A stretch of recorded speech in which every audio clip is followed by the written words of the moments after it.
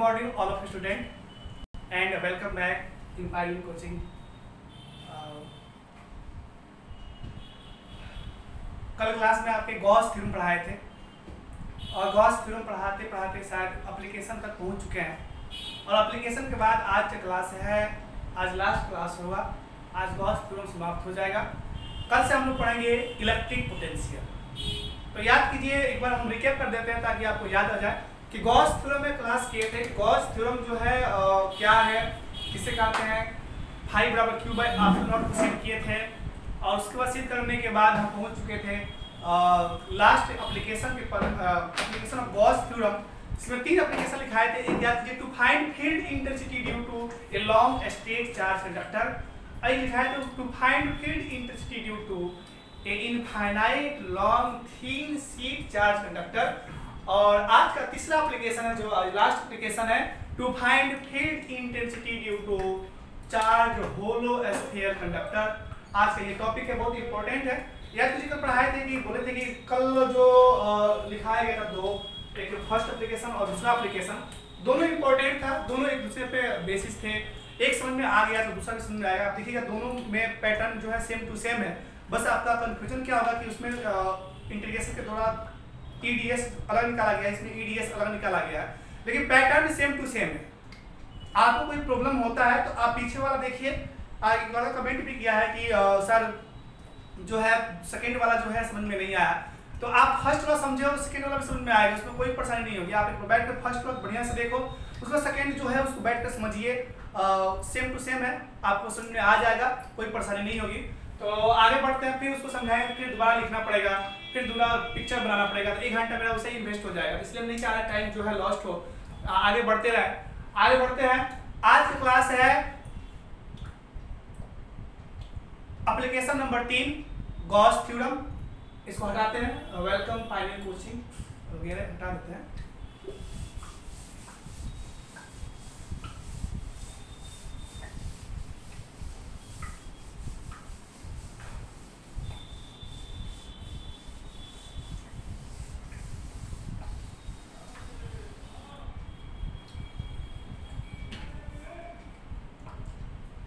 तो शुरू किया किया जाए हेडिंग कीजिए एप्लीकेशन नंबर तीन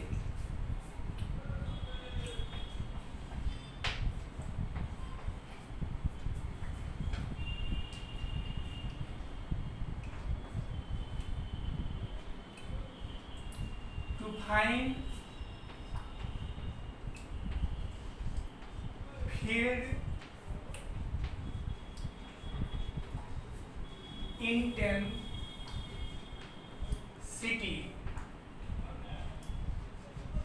due to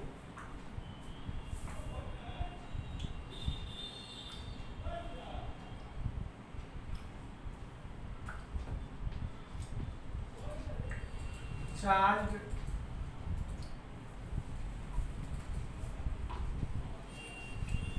hollow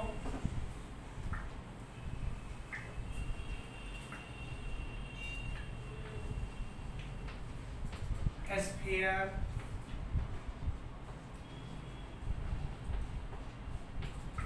conductor. ये आज क्लास है application number third Gauss theorem का।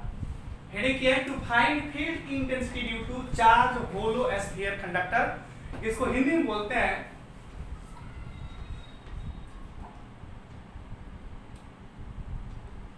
किसी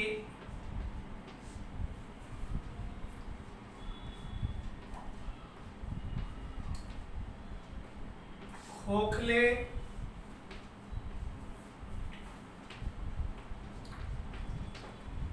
आवेशित गोलीय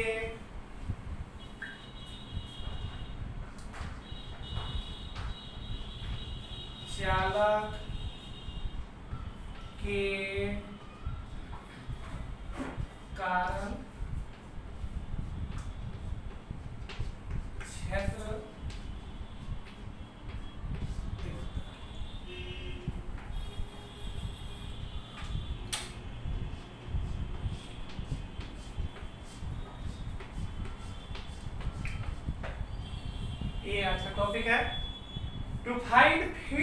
intensity due to hollow charge sphere conductor किसी खोखले आवेशित गोलीय चालक के कारण क्षेत्र तीव्रता का व्यंजक ज्ञात करें। बहुत इंपॉर्टेंट है। एग्ज़ाम में कई बार आया भी है। या पाँच नंबर में आता है या दो दो नंबर में भी आते हैं। दो नंबर में कैसे आता है उसको बता देते हैं। पाँच में कैसे आता है उसको समझा देते हैं। तो पहले इसको हेडिंग कीजिए। To find field intensity due to charge hollow sphere conductor ये आपका लास्ट टॉपिक है। सेकेंड लास्ट टॉपिक है। इसके बाद एक और है, जो आज कुछ कर देते हैं समझा देते हैं। पहले इसको समझते हैं। कि है क्या? मान लीजिए गोलीय चालक है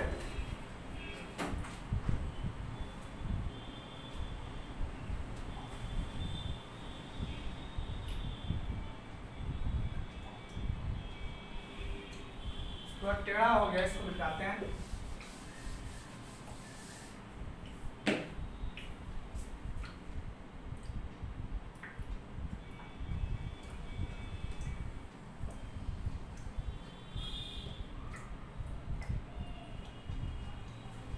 अब एकदम परफेक्ट गोल हुआ है। माना कि यह गोलीय चालक है। इस गोलीय चालक के कारण आपको गॉस प्रमेय की सहायता से इंटेंसिटी का व्यंजक ज्ञात करना है। तो व्यंजक ज्ञात करने के दौरान हमने एक, खोखला गोला लिया है और इस खोखले गोले पर हम आवेश क्यों रख देते हैं?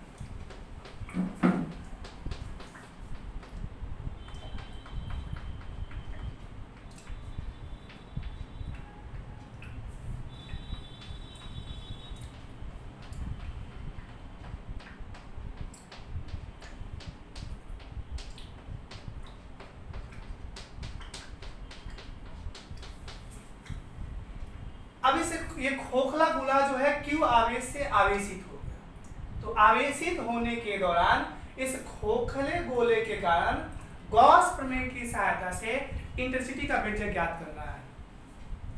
तो इसके तीन केस होते हैं। कितने केस होता है? तीन। एक केस होता है कि जब कोई बिंदु लेंगे, बिंदु के नाम A B C D T Q R S कुछ भी हो सकता है। एक बिंदु लेंगे जो गोले से बाहर स्थित होगा। तो जब बिंदु बी गोले के बाहर स्थित हो तो उस गोले के बाहर बिंदु पी पर इंटेंसिटी का व्यंजक ज्ञात करेंगे केस नंबर वन हो गया। अब वही बिंदु जब गोले के पृष्ठ पर स्थित हो तो गोले के पृष्ठ पर स्थित हो तो उसका इंटेंसिटी का व्यंजक भी ज्ञात करना है। जब बिंदु पी गोले के पृष्ठ पर सरफेस पर। अब उसके बाद उसी बिंदु को जब गोले के अंदर कर देंगे तो वहाँ इंटेंसिटी का व्यंजक ज्ञात करना है। तो कह रहा है जब बिंदु पी गोले के अंदर स्थित हो? तो इस थ्योरम के तीन केस होते हैं और दो नंबर में क्वेश्चन आता है तो कोई केस दे देगा कि to find field intensity due to hollow charge sphere conductor case number one which point is situated by uh, out outer of a sphere conductor? या जब पॉइंट P जो है गोले के सरफेस पर जो है स्थित हो या जब बिंदु P जो है गोले के अंदर स्थित हो। तीनों केस आपको अलग अलग है। केस नंबर केस दे रहा जब बिंदु P गोले के बाहर स्थित हो तो उसमें ये क्वेश्चन दो नंबर में आया और क्वेश्चन ये पाँच में आया है तो सच आप ये समझिए कि ये क्वेश्चन जब पास में आया तो यह तीनों केस सिद्ध करना पड़ेगा। जब बिंदु P गोले के बाहर हो, जब बिंदु P गोले के पृष्ठ पर स्थित हो, जब बिंदु P गोले के अंदर स्थित हो। तो तीनों तो एक बार में सिद्ध नहीं हो सकता। है तो काम करते हैं। केस नंबर वन लेके चलते हैं। केस नंबर वन है, जब बिंदु P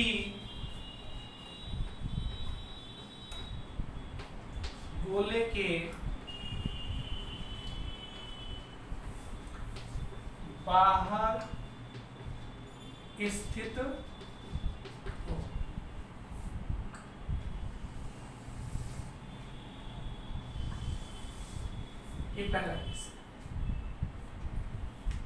तो हेडिंग हो गया है to find field intensity due to hollow charge sphere conductor अब पहला केस हो गया जब बिंदु P गोले के बाहर स्थित हो तो पहले इसका हम व्यंजक ज्ञात कर लेते हैं। जब बिंदु P गोले के बाहर स्थित हो तो कैसे ये नियम को फॉलो होता है? इसका पहले एक्सप्रेशन ज्ञात करके तब चलते हैं। केस नंबर टू जब बिंदु P गोले के पृष्ठ पर स्थित हो जब केस नंबर जब बिंदु P गोले के अंदर स्थित हो। तो एक एक पॉइंट लेते हैं इस गोले के बाहर। माना कि इस खोखले गोले का सेंटर क्या है? तो वो है। इसकी त्रिज्या क्या है? इसकी त्रिज्या क्या है? आर अब इस गोले से आर द्वीप पर स्थित बाहर। एक बिंदु रखा गया, इस बिंदु का नाम क्या है? पी है। अब इस गोले से आर दूरी पर, कितना दूरी पर? आर दूरी पर। एक बिंदु पी रखा गया, अब इस बिंदु पी पर इस खोखले आवेशित गोलीय चालकरण इस बिंदु पी पर इंटेंसिटी का व्यंजक ज्ञात करना है। तो अब जानते हैं पढ़ाया भी गया है। गॉसियन सरफेस में लिखाए थे कि वह काल्पनिक सतह, जिस पर गॉस का प्रमेय लागू होता है, वह गॉसियन सरफेस कहलाता है और गॉसियन सरफेस हमेशा क्लोज होता है। इस खोखले गोलीय चालकरण इस बिंदु केंद्र ओ से आर पर स्थित बिंदु पी पर इंटेंसिटी ज्ञात करना है तो क्या यह बिंदु पी जो बाहर स्थित है, यह क्लोज है? नहीं है। तो जब क्लोज नहीं है तो इस बिंदु पर गॉस का प्रमेय लागू ही नहीं तो इस बिंदु पी पर गॉस का प्रमेय लागू करने के लिए हमको क्या करना पड़ेगा कि इस बिंदु पी पर जो है एक गॉसियन सरफेस का निर्माण करना पड़ेगा काल्पनिक सतह का निर्माण करना पड़ेगा ताकि वह बंद दिखाई दे और उस पर गॉस का प्रमेय आसानी से लागू हो जाए। तो हमने क्या किया? इसको त्रिज्या मानकर आर को त्रिज्या मानकर, एक काल्पनिक सतह जो है गॉसियन सरफेस के रूप में खींचते हैं। बोर्ड देखिए।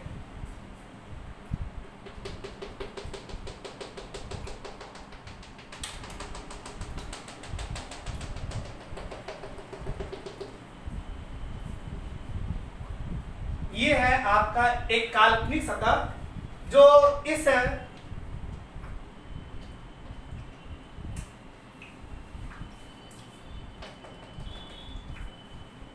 अब बिंदु P जो है, अब क्लोज हो यह जो आपको डॉट डॉट लाइन दिखाई दे रहा है, यह एक काल्पनिक सतह है, जो स्फीयर टाइप का ही है, जिसका मान लीजिए छत पर क्या है तो S है S का सरफेस इस गोले का सरफेस क्या हो गया, S हो गया। अब यह बिंदु P जो है काल्पनिक सतह के द्वारा जो है क्लोज हो गया। और जैसे ही क्लोज हो गया तो क्लोज होने के दौरान आसानी से इस बिंदु P पर इंटेंसिटी का व्यंजक गॉस प्रमेय की सहायता से ज्ञात किया जा सकता है। तो आप जानते हैं कि जब आवेश Q है डिस्टेंस r है, इस बिंदु P पर जो एक बल लगेगा, और वह बिंदु P ही इस बिंदु पर का, वह बल ही इस बिंदु P पर क्या कहलाएगा? तो फ़ील्ड इंटेंसिटी अर्थात इस बिंदु P पर उत्पन्न इंटेंसिटी क्या होगी E होगी अब साथ ही माना कि यहाँ तो संपूर्ण सतह क्या S है। तो संपूर्ण सतह पर एक बार इलेक्ट्रिक फ्लक्स का मान ज्ञात नहीं हो सकता है तो हम करते हैं संपूर्ण सतह पर क्या करते हैं स्मॉल एरिया एलिमेंट्स ले लेते हैं। ये इसका स्मॉल एरिया एलिमेंट्स है। हिंदी बोलते हैं अल्पांश क्षेत्रफल। ये हो गया अल्पांश अब इतना पर हम क्या करेंगे? पहले डी फाई निकाल लेंगे। डी फाई निकल जाएगा तो उसी का इंटीग्रेशन कर देंगे तो आपको टोटल फ्लक्स का मान ज्ञात हो जाएगा। अब इस पर, इस मान लीजिए यह इसका अल्पांश एरिया जो है स्मॉल एरिया एलिमेंट से वो क्या है? तो वह है वेक्टर डीएस यहाँ पर वेक्टर ई e और डीएस के बीच बना कोण क्या है? ज़ीरो है। अब आपको इस पिक्चर की सहायता से, अर्थात किसी खोखले आवेशित गोलीय चालक के कारण, केंद्र O से बाहर की ओर स्थित बिंदु P पर R बिंदु स्थित बिंदु P पर आपको इंटेंसिटी का व्यंजक ज्ञात करना है गॉस प्रमेय की सहायता से, जो field intensity due to charge hollow sphere conductor के नाम से जाना जाता है। केस नंबर वन का थ्योरम है, जब बिंदु P गोले का, गोले के बाहर स्थित हो तो ये इसका पिक्चर है। इस पिक्चर को बनाइए कॉपी पे नोट कीजिए, इस हेडिंग को नोट कीजिए केस नंबर वन नोट कीजिए, उसके बाद इस पिक्चर को छापिए और यहाँ पर प्रूफ देकर डैश दीजिए।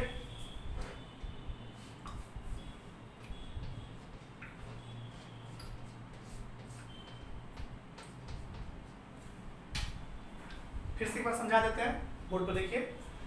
माना कि एक आठ त्रिज्या वाला एक खोखला गोला है, जिस पर उपस्थित आवेश क्यू है। इस खोखले गोले के केंद्र O से R परिस्थित बिंदु P पर इंटेंसिटी का व्यंजक ज्ञात करना है। इंटेंसिटी का व्यंजक ज्ञात करना है। तो व्यंजक ज्ञात करने के लिए हमने क्या किया? इस बिंदु P को एक गॉसियन सरफेस के द्वारा जो है क्लोज कर दिया। तो क्लोज करने के बाद एक देखिएगा आप काल्पनिक सतह दिखाई दे रहा होगा गोले के रूप में जिसका पृष्ठफल क्या है? S है। अब इस बिंदु P पर आपको R द्वीप स्थित बिंदु P पर इंटेंसिटी का व्यंजक ज्ञात करना है। तो पहले इसे d फाई हम पहले d फाई का मान निकालेंगे। इस बिंदु P पर अल्पांश एरिया पर d फाई का मान निकाल के उसी का इंटीग्रेशन कर देंगे गॉस प्रमेय की सहायता से। तो आपको टोटल इंटेंसिटी का व्यंजक ज्ञात हो जाएगा। तो लिखते हैं बोर्ड पर देखिए। माना कि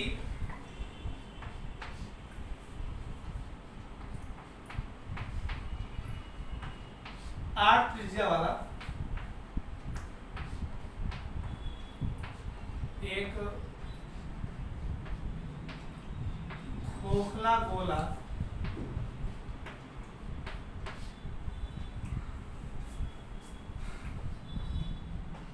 लिया गया है।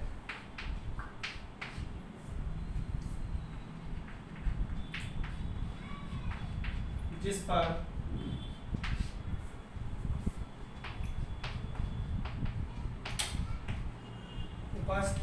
उपस्थित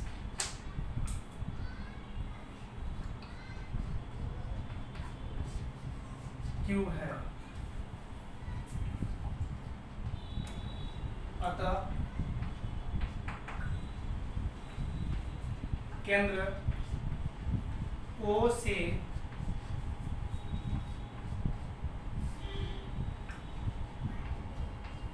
आर दूरी पर स्थित बिंदु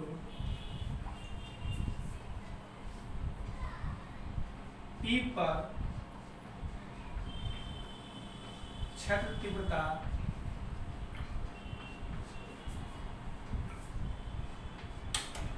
ज्ञात करना है। अब यहाँ से चेंज करेंगे। अब स्मॉल आर स्मॉल आर को रेडियस मानेंगे। स्मॉल आर को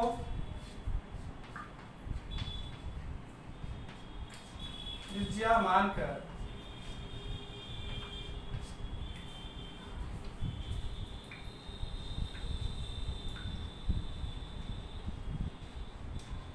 गॉसियन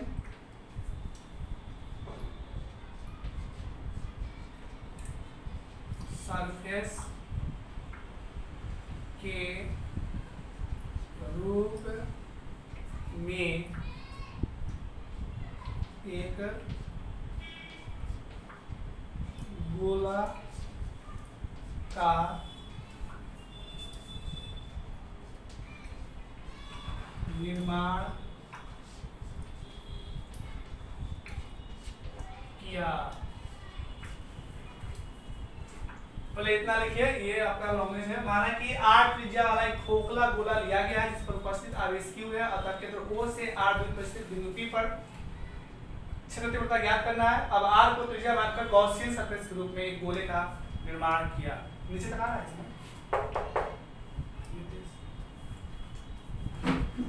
निर्माण किया। अब इस पिक्चर को हटाते हैं। पिक्चर बन गया होगा। पहले पिक्चर को बना लीजिए। अब यहाँ बोर्ड भर चुका है तो उसको मिटाना पड़ेगा। मिटा पिक्चर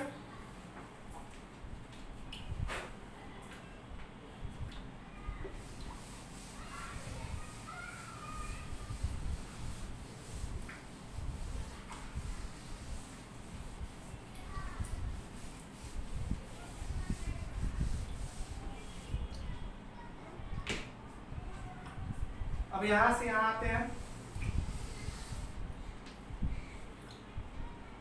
अब लिखिएगा बाई।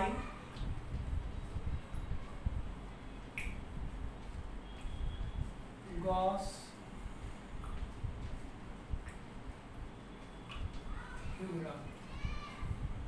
गॉस थ्योरम क्या जानते हैं आप लोग? प्राय जान लीजिए फाई बराबर integration of vector E dot D S बराबर टू बाई एप्सिलॉन ये गॉस का प्रमेय है फाई बराबर integration of E dot D S या क्यू बाई एप्सिलॉन अब आगे बढ़िए, या ई तो कांस्टेंट है, बाहर निकल जाएगा। यहाँ बचेगा। Ds यहाँ ऐसे कर दीजिए। इंटीग्रेशन ऑफ़ ई इसका वेक्टर चाहिए E D S cos theta तो थीटा का मान कितना है पिक्चर में? तो ई e और डी के बीच जो है थीटा का मान पिक्चर में कितना? ज़ीरो डिग्री था। तो यहाँ कॉस क्या हो जाएगा? ज़ीरो बराबर। क्यू बाई एप्सिलॉन अब जानते हैं कॉस ज़ीरो का मान वन होता है। ई e जो कांस्टेंट है बाहर निकलेगा अंदर बचेगा। डी एस कॉस ज़ीरो का मान वन बराबर क्यू बाई एप्सिलॉन अब ds क्या है? Ds का इंटीग्रेशन करें कितना आ जाएगा? S आ जाएगा। तो जाएगा e बराबर इंटू एस बराबर q बाई एप्सिलॉन अब s क्या है? तो s जो है उस गोले का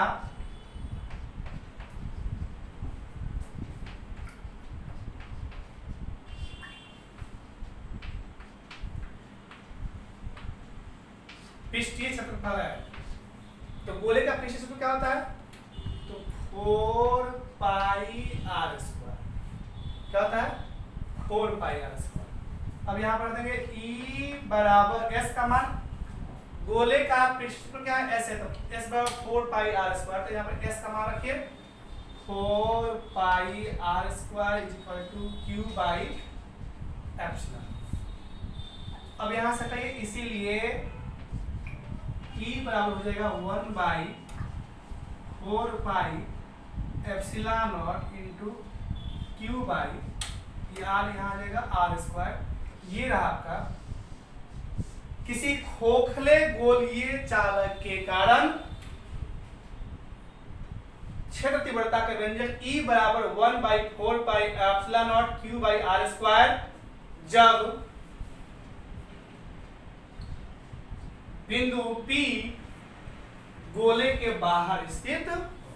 यह केस नंबर वन का व्यंजक है, आप यहाँ पर प्रूफ लिख सकते हैं।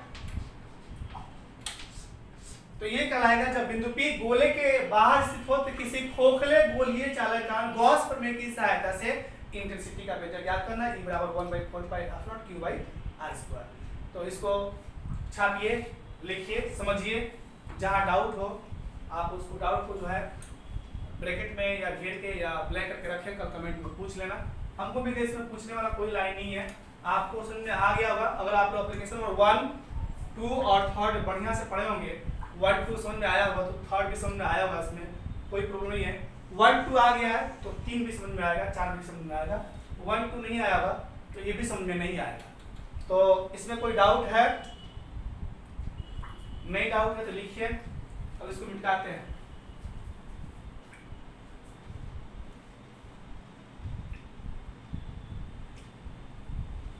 इसमें दो लाइन और लिखना नीचे। एक बार पूछा गया था कि जब बिंदु P गोले के बाहर स्थित हो तो किसी खोखले आवेशित गोली चालक का व्यंजक का क्या होता है? तो इसका एक और व्यंजक होता है, आपको दिखाते हैं। इधर लिखते हैं। जब उसमें पूछा था कि जब बिंदु P गोले के बाहर स्थित हो तो इसमें यह व्यंजक नहीं दिया था ऑप्शन में। आपको तुम्हारे हम यहाँ तक पढ़ा के छोड़ देते हैं E बराबर वन बाई फोर एप्सिलॉन और क्यू बाई आर यहाँ तक छोड़ देते हैं। तो श्योर है आपको यहीं तक मालूम चलेगा। एक लाइन और होता है इसका व्यंजक, जो आपको दिखाते हैं। उसको होता है ई बराबर sigma by epsilon not capital R small R का होल स्क्वायर तो वह हमारे कैसे आता है, उसको दिखा देते हैं देख लीजिए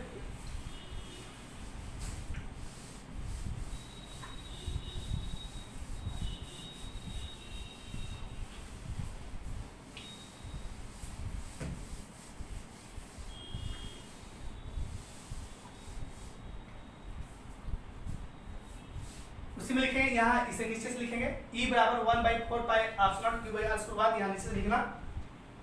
यदि इसी में लिखना है, यदि खोखले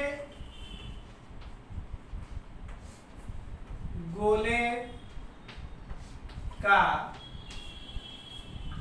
पृष्ठीय आवेश घनत्व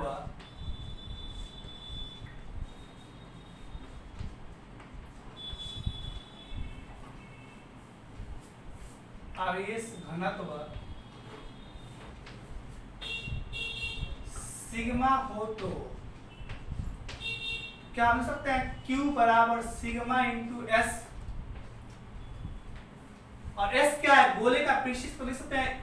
Q बराबर सिग्मा इंटू एस एस का मतलब फोर पाई आर स्क्वायर यदि खोखले गोले का पृष्ठीय सिग्मा हो तो लिख सकते हैं। क्यू बराबर सिग्मा इंटू एस तो क्यू बराबर सिग्मा इंटू तो क्यू बराबर सिग्मा एस का मान फोर पाई आर स्क्वायर अब वह एस जो हो गया, उस बड़ा जो खोखला गोला है आर त्रिज्या वाला उसका पृष्ठफल तो उसका पृष्ठफल फोर पाई आर स्क्वायर और जो काल्पनिक बना है, गोला, उसका होगा four pi small R square तो खोखला गोला बात कर रहे हैं तो यहाँ होगा स्मॉल खोखला गोला का पृष्ठीय area four pi R square तो ये हो गया क्यू बराबर सिग्मा इंटू एस एस के ऊपर फोर पाई आर स्क्वायर और क्यू बराबर sigma into four pi R square अब इस मान को हम यहाँ रखते हैं।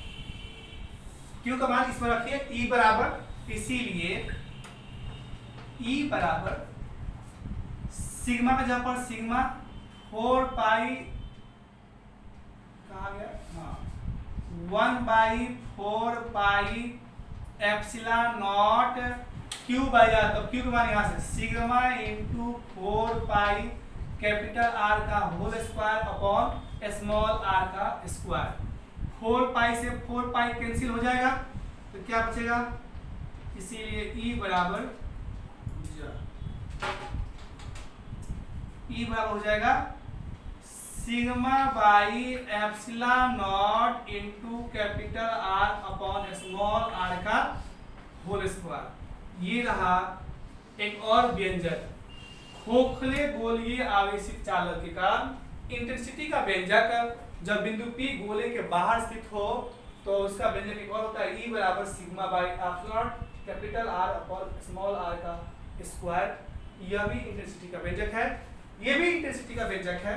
अब जब दोनों समझ में आ गया होगा तो दोनों छापिए, लिखिए और उसको समझिए।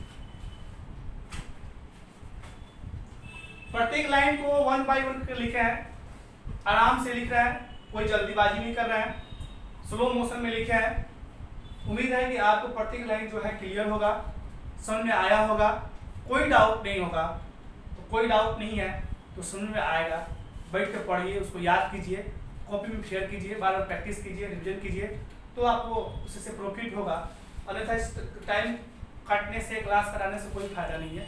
तो इतना आदमी मेहनत कर रहा है तो कुछ आप बैठ कर पढ़िए, याद कीजिए, देखिए, और इसको छापिए। कितना टाइम हुआ है?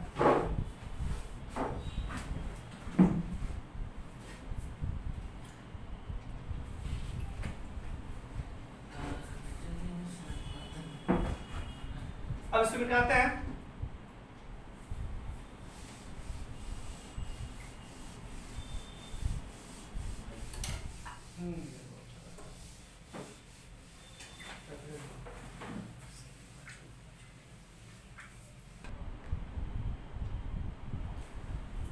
अब एप्लीकेशन नंबर दो है। एप्लीकेशन नंबर तीन का ही केस नंबर वन हो गया जब बिंदु पी देखिए ना, चल जब बिंदु P गोले के बाहर स्थित हो, अब टू नंबर एप्लीकेशन है जब बिंदु P गोले के पृष्ठ पर। जब बिंदु P गोले के पृष्ठ पर स्थित तो जब बिंदु P गोले के पृष्ठ पर स्थित होगा, देखिए।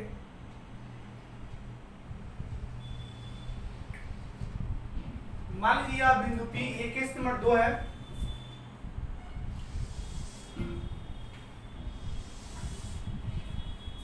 जब बिंदु P गोले के पृष्ठ पर स्थित होगा तो उसके लिए व्यंजक क्या है? माना कि ये गोला गोला है जिसका पृष्ठ एस है। इस पर उपस्थित आवेश क्या है?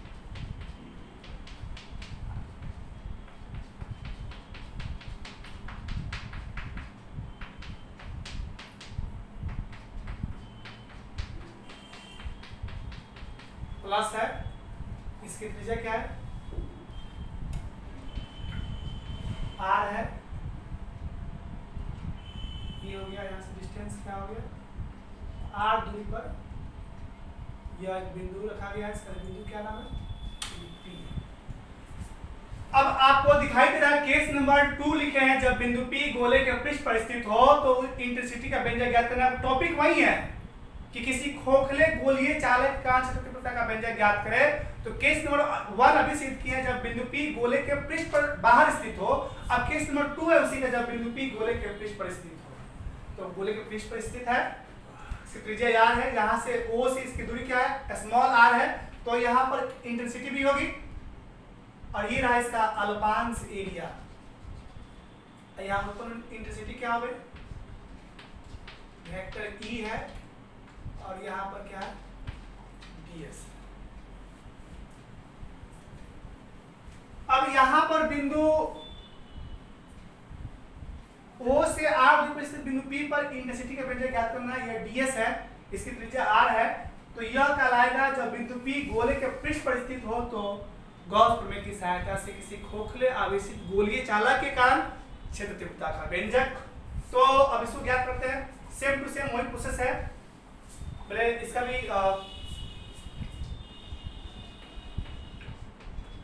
प्रूफ देंगे देंगे अगर ये पाँच नंबर में आया है तो माना कि जाना कि बस एक ही में लिखेंगे, बस शुरू वाला में केस नंबर वन में।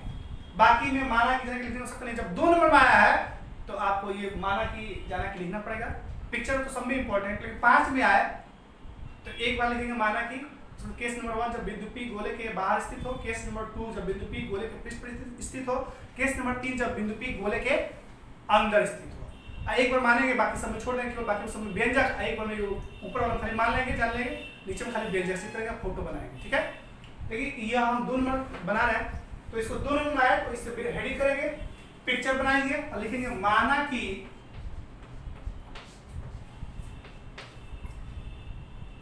आठ त्रिज्या वाला एक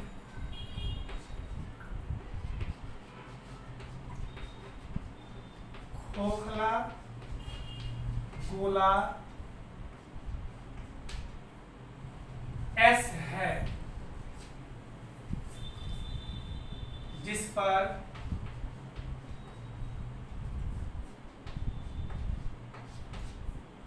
उपस्थित आवेश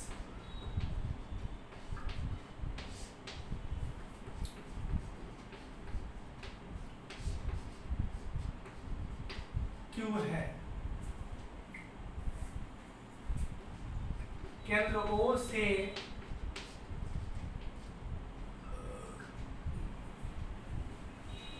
आर दूरी पर स्थित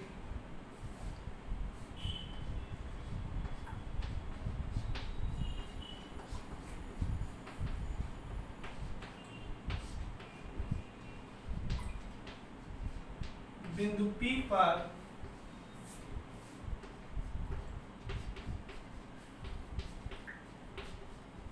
क्षेत्र तीव्रता।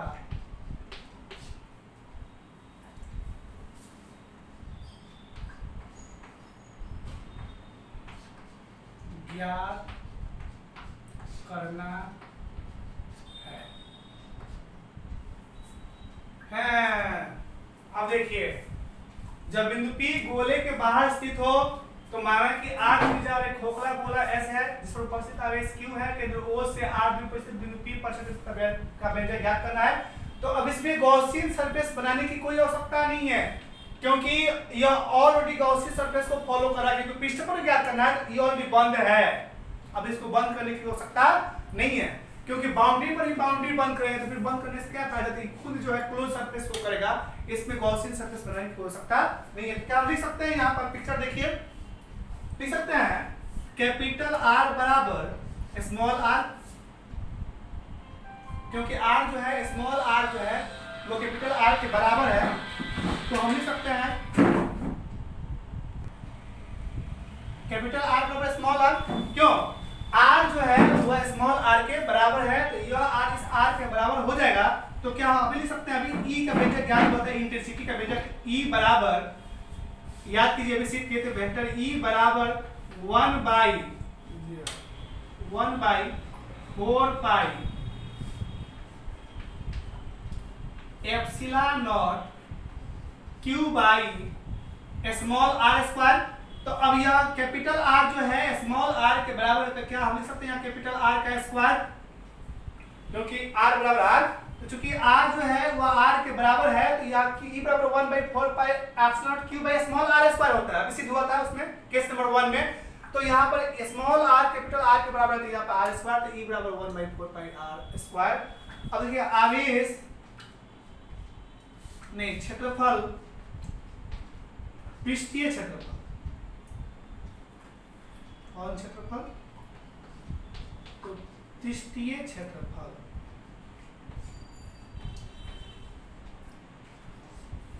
एस बराबर क्या हो जाएगा? तो फोर पाई क्या? आर स्क्वायर आवेश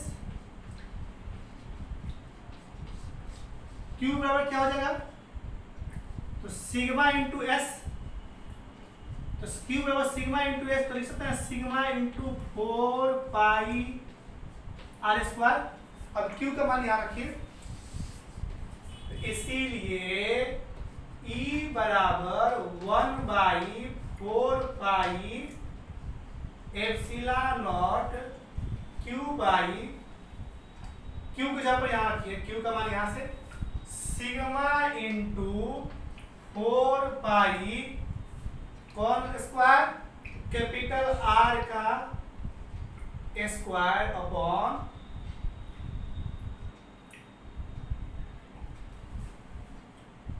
यहाँ देगा कैपिटल आर का स्क्वायर कैपिटल आर के स्क्वायर से R square cancel four pi से फोर पाई कैंसिल क्या बच गया? इसीलिए वेक्टर ई e बराबर सिग्मा बाई एप्सिला नॉट। ये रहा आपका केस नंबर दो। जब बिंदु पी गोले के पृष्ठ पर स्थित हो तो उस खोखले गोलीय आवेशित चालक के कारण क्षेत्र तीव्रता का व्यंजक हो जाएगा E बराबर सिग्मा बाई एप्सिला नॉट। ये रहा आपका जब बिंदु पी गोले के बाहर स्थित हो इंटेंसिटी का व्यंजक। दो केस सिद्ध हो गया। एक जब बिंदु P गोले के बाहर स्थित हो तो इंटेंसिटी का व्यंजक ज्ञात करना है गॉस प्रमेय की सहायता से तो उसका व्यंजक हो जाएगा E बराबर one by four pi epsilon not Q by R square और जब बिंदु P गोले के पृष्ठ पर स्थित हो तो उसका व्यंजक हो जाएगा E बराबर सिग्मा बाई एप्सिलॉन नॉट दोनों बोर्ड पर लिखा गया है। इसको समझिए, छापिए नोट कीजिए और घर पर पढ़िए। आज इतना ही टाइम हो गया। फिर कल मिलते हैं।